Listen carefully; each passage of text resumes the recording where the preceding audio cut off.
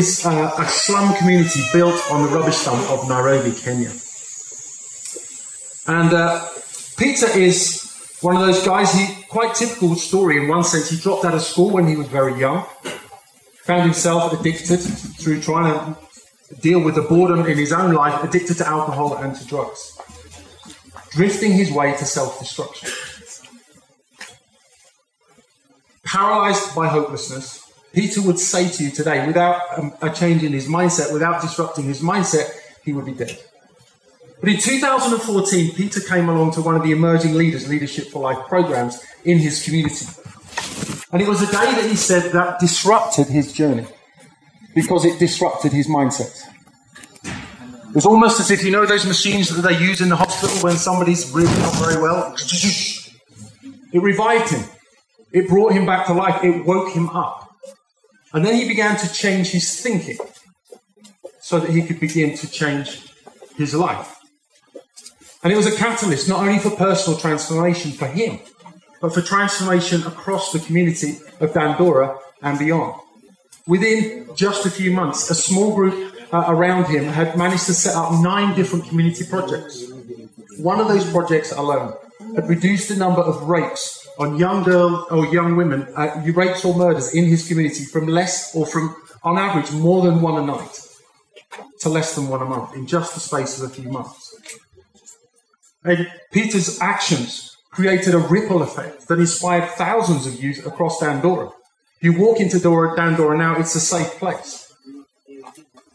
It's in, included them, uh, many of them going back and re-engaging in their education, or setting up businesses, or um, cleaning up their community, improving the security, and reducing crime. You walk around the streets with Peter, everybody calls him the doctor because he's the guy that made the place well. And uh, the thing about Peter is this: is that he's a great guy, special guy, but he's and he's unique, but he's no more special than you and I. You see, every human being is full of the potential to be able to do extraordinary things. And that includes you and that includes me. See, I don't know whether you can see it or not. It's so small, you probably can't. It's insignificant. Not particularly very impressive, but I hold in my hand a seed. A seed that is full of amazing potential. Just like you. But at the moment, it's asleep. But if, just like Peter, we can wake it up, we put it in the right environment, give it the right opportunity, we wake it up, guess what? What I hold in my hand is not just a simple seed, it's a feeding program that has the capacity to meet the needs not just of the city of Kigali, but the whole of the country. The question is this is that if we are all full of this amazing potential, what is it that keeps us small? What stops us from fulfilling that potential, from reaching that potential in any an area of our lives? Well, let me give you an equation to help us understand this. You see, our performance, what we do, all right, our performance. And whether that's in the world of sport or education or music or dance or arts or in our relationships with our families, our performance, what we do, equals our potential, that amazing potential, what we could do, minus the interference that stops us from doing it. And sometimes in our life there's a little interference, but sometimes there can be lots and even growing interference in our lives. And the higher the level of interference in our lives, the greater impact it has on our performance. So if we want to increase our performance in any and every area of our lives, we want to build and grow and develop our capacity, then what we need to be able to do is that we've got to be able to disrupt and deal with the interference. Interference has many faces. There is external interference, interference created by the environment in perhaps in which we find ourselves the level of violence or crime, corruption, inequality. Perhaps it's the lack of available resources for good education. Or perhaps it's a lack of good resources or available resources or finance. And they need to build a part of the interference that is out there. But the greatest threat to us and to our human flourishing is not what's going on out there. It's the interference that's going on in here. It's the conversations that we have with ourselves. It's what we believe about ourselves and what we tell ourselves. Shaped often by the interference that's going on around out there. And passed on often from one generation to the next, to the next, to the point at which we find ourselves paralyzed to possibility. And what are some of those conversations that we have? Well, let me just share a few examples with you and let's see if you can recognize any of them in your own life. I recognize them in my own. The first of those is what we call hopeless thinking. It's that voice in our head that says, you can't do that. You can't. You have that big assignment that you've got to complete. You go, oh, it's just too difficult. I can't do it. I can't do it. Or you've got that job that just seems a little bit too far out of your stretch. I can't do it. I couldn't. I can't apply for that. And that hopeless thinking keeps us small. Or perhaps it's lazy thinking. We're going to smash that assignment. We're going to sit down. We're going to do it. Or is, this is the time when I'm going to get myself fit, fast, and in shape. I'm going to get out there on the roads and I'm going to smash it. But then we've had a tough day at work or at university in our studies. We get home, and it's just like our, that voice in our head says, Do you know what? I can't be bothered. Or perhaps it's our fixed thinking. Steve, you always seem to be anxious, tense all the time. You always seem to be late. It's just the way I am. My granddad was like that. My dad's like that. I'm like that. It's just the way I am. I can't change. It's fixed thinking and it keeps us small. Or perhaps it's our stuck thinking. We know that there are challenges or problems in our communities. We can see them. But we're stuck waiting for them to fix it. The government, or the governor, or the chief, or the lecturer. We're waiting for them, and it keeps us small. These poverty mindsets impact us so much in every aspect and every area of our lives. And you say, Steve, they're just thoughts, they're not important. No, but they matter. Why do they matter? Because of this. Because our thoughts affect our feelings, which affect our actions. What I think affects how I feel, which determines what I do. And so, if we don't deal with those disruptions, then it's going to continue to impact our actions. And the reality is that without mindset change, the story stays the same. In communities, in countries around the world, the story will stay the same without mindset change. But what we've discovered in emerging leaders over the last 10 years, working in approximately 16 countries around the world, with many thousands of people from different colours and creeds, genders, different contexts, is that the same principle remains true.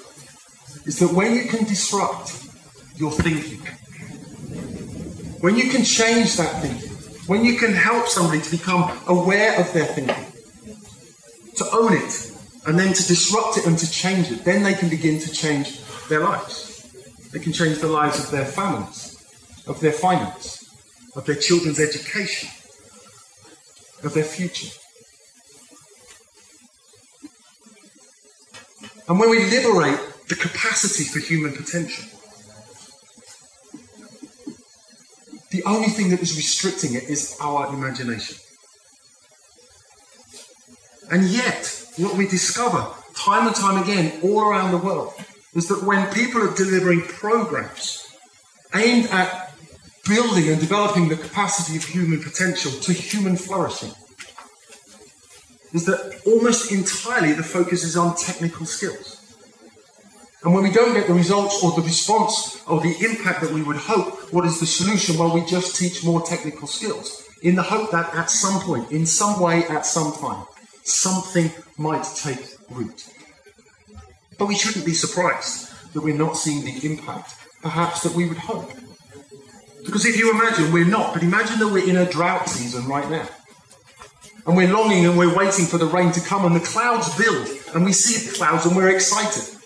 And the rain falls from the clouds and it pours down onto the ground. But the problem is, is because it's drought, it's all got hard and it's got compact. And a little bit manages to make its way in, and yet so much of what's good and what's needed actually disappears off down the road and is lost. But if we first disrupt and break up the soil, then it creates an environment that is ready to receive what it's good and what it needs, and it creates an environment for growth.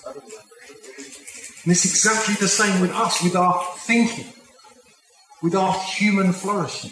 It's exactly the same. If we can disrupt our thinking, change our thinking, then we can change our lives.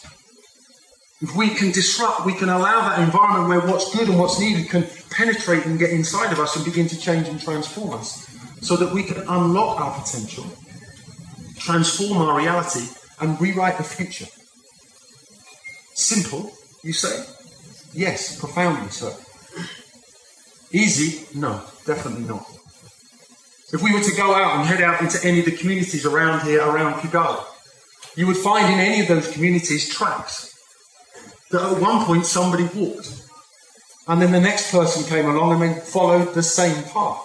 And over time, what's happened is that those paths, whether it's on foot or on motorbike or on cycle, is that we just continue to follow those same paths. But if we want to cut a new path, de- define a new destination, it takes strength and it takes effort, right? To try and ride across the ruts that have already been cut. It's not easy. It's much easier just to drop into the same old ruts that we've always travelled along before.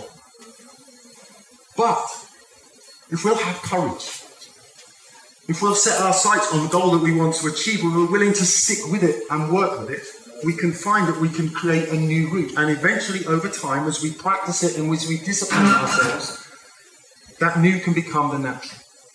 And it's the same in our thinking if we have the courage and the conviction to disrupt those old negative mindsets, to own them first, to disrupt them, recognize them, do something about them, and then begin to change them, to choose a different route. It's not easy, but it's worth it because we get to a different and a brighter destination that's available for all of us. So instead of my hopeless thinking, which says that I can't, now when I begin to hear that, I say, no, no, Steve, come on, I can, I will, I'll find a way. Instead of that lazy thinking, which says I can't be bothered, I'm going to go, no, I'm going to make the effort. And when I start to think it's just the way I am, I will remind myself, no, Steve, take the risk to grow. And it's exciting what begins to happen in the life of a human being when they begin to disrupt what's not working in their mind. I want to, I could share with you many stories from around the world, but I want to share with you just three. Three stories from here in Rwanda from just the last few months with projects that we've been involved in. One was just a few months ago, working with a bunch of head teachers and teachers up in the Rulindo district. And one of the head teachers shared with us, admitted that he had problems in areas of discipline in his life, particularly around timekeeping and around finance, which meant that he would never arrive for class on time and children were missing out on their education. And so what he did was he learned how to disrupt his mindset, his old pathway that he used to walk. Now he's arriving early. His, his lessons are planned, prepared, and delivered on time and well. The children are engaged, and guess what? The staff are now following his example, and it's changing the culture of the school. He shared with us that in just three weeks, following his mindset disruption, he had managed to save $210, 200,000 Rwandan francs. And this was a guy that was struggling in debt. And then he set up a leadership club in his school, in his primary school, and 82 students uh, signed up for it, and he began to share the same principles that he'd learned. And in the space of three weeks, these students had managed to save $130, 120,000 Rwandan francs, primary school children. What's um, amazing as well is we did some work up in Sorwathe with um, some of the tea pickers up in Sorwathe. And many of them were very fearful about the future. Hopeless thinking was consuming them. But as they learned how to, they could disrupt that mindset and reset their path. They set up income generating businesses that provided additional uh, income for themselves 20 or 30% on top of what they were already getting. And provided employment for 179 other people in those communities and has a positive ripple effect on 3,500. Or perhaps it's the 735 graduating uh, teachers that we've worked with this past 12 months from Rwanda University. The statistics, the statistics say that on average, less than 50% of them will manage to find a job in education or stay in education because they're not able to earn the income that they need to survive. Within two months, 46% of them have set up an income generating business that enabled them to add an additional income to their um, salary of uh, $46. 43,000 Rwandan francs, which means that they'll stay in school, they'll stay teaching, and they'll give the children the education that they need and that they deserve. So imagine how we could change the story. If we could put the mindsets, motivations, and skills to flourish at the center of the educational system in this country, or in any country. From kids right the way through to graduates, into every youth, national youth initiative, into every project that aims to set up every community and transformation in this country. Imagine the ripple effect that we could create in our own lives and in the lives of others. In a paper that was written called The Power of 1.8 Billion, written in 2014 by the UNFPA. And they said this with the right policies and investments, and the engagement of our youth in nurturing their potential. The largest generation of young people in human history can become the problem solving producers, creators, entrepreneurs, change agents, and leaders of the coming decades. That's available for you and it's available for me. My, uh, our host said right at the beginning, I loved his quote. Was it um, disruption is not a threat, it's an invitation to change. And when we accept that invitation and change our thinking, then we can change our lives. And when we change our lives, we create a ripple effect that begins to transform the lives of others. Thank you.